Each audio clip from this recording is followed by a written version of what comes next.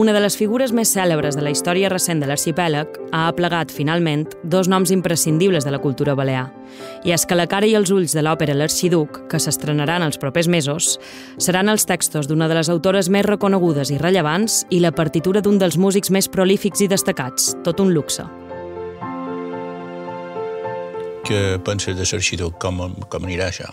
Jo supos que bé, si fas bona música... aquí. Estaven les principals, sí, supos que s'estrenarà aquí. Si fas bona música i molta bonda i fas molta feina... Això és com aquella triu que deia si va, si va gente y gusta serà un èxito, no? Que Exacte, exacte, exacte. Si la gent hi gusta ser honesta. Amb un llibre sí, com no? el teu no, no pots No, sortir no mai pot- música no pots fer dolenta. malament. No, No, no, hombre, no. és possible.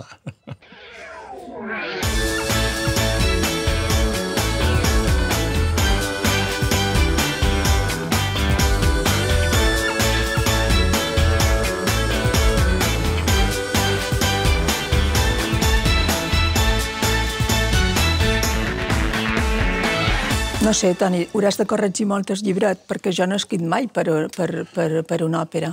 El que passa que els consells que, que m'has donat jo crec que són bons. Bueno, més que consells són suggerències, perquè així com vas posant-hi música, que és quan te fiques dins la història, te surten idees, no? O sigui, hi ha branques que donen, donen més camp, no?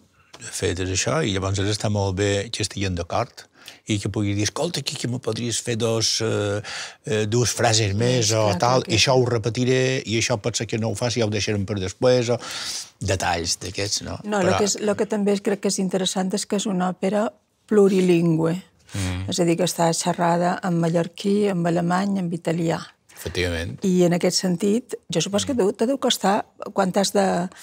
Passar a alemany, per exemple. Clar. Bueno, visquent a Zurich ja hi tenc una certa Clar, familiaritat, no? I tens la meva dona que, que és alemany, la meva filla, no?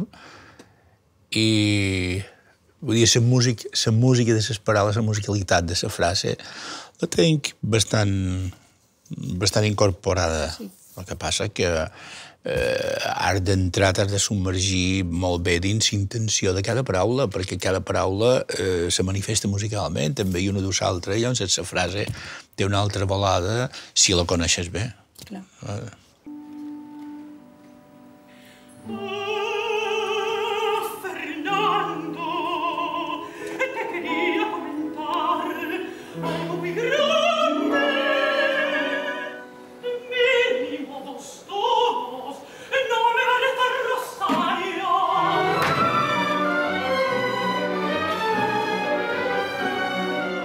Amb aquesta història de, de demanar, el músic sempre sol demanar més en el llibretista.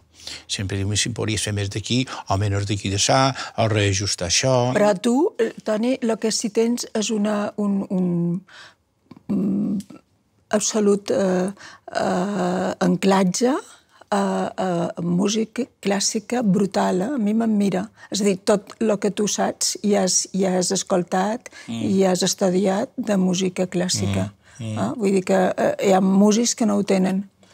Bueno, no sé, eh, hi havia un crític molt amic meu de Madrid, en Gómez Amat, que deia que, eh, per, per exemple, que, que en Montpou no li agradava Beethoven, eh, un altre no li agradava Wagner, eh, un altre no li agradava Chopin, i li agradava... sempre hi havia qualcú que li agradava jazz i no li agradava el clàssic, no? I ell deia que era un todià. Vol dir que li agradava... agradava tot. tot. Jo crec que la gent que, que crea, la gent també crea fent una paella, absolutament. La cuina crea, se crea moltíssim i és molt bona creació, però que la gent que, que crea és molt porosa, és a dir, és com una esponja mm. que, que agafa tot. Servim. I això passava amb en Picasso, que era un gran geni, que el pobre Brac se'l va quedar ben eixut perquè ho xupava tot, però clar, si només hagués xupat tot seria un plagiari. Mm. Però ell xupava tot perquè era un geni i llavors ah. reelaborava. Aleshores, en la mida eh, meva de petita persona que crea, també me passa, és a dir, tu el que fas és estar copsant... parabòliques obertes. Exacte, en els ulls ben oberts i la parabòlica ben posada Clar. i eh, és mirant i, i observant i llavors es captes més que una altra gent que no ho fa. Mm. Jo crec que, és, que un paradís és, és com un ho viu, eh? també. Un paradís artificial. No, un... està harmònicament d'acord. en- Però llavors es pots estar a qualsevol puesto. Per això, jo crec que el paradís no, és, no. és, El- el eh, tu pot ser per tot, jo crec que sí. O sigui, igual que es viatge, sempre és el teu viatge perquè el dus a de dins i en realitat només és això, no?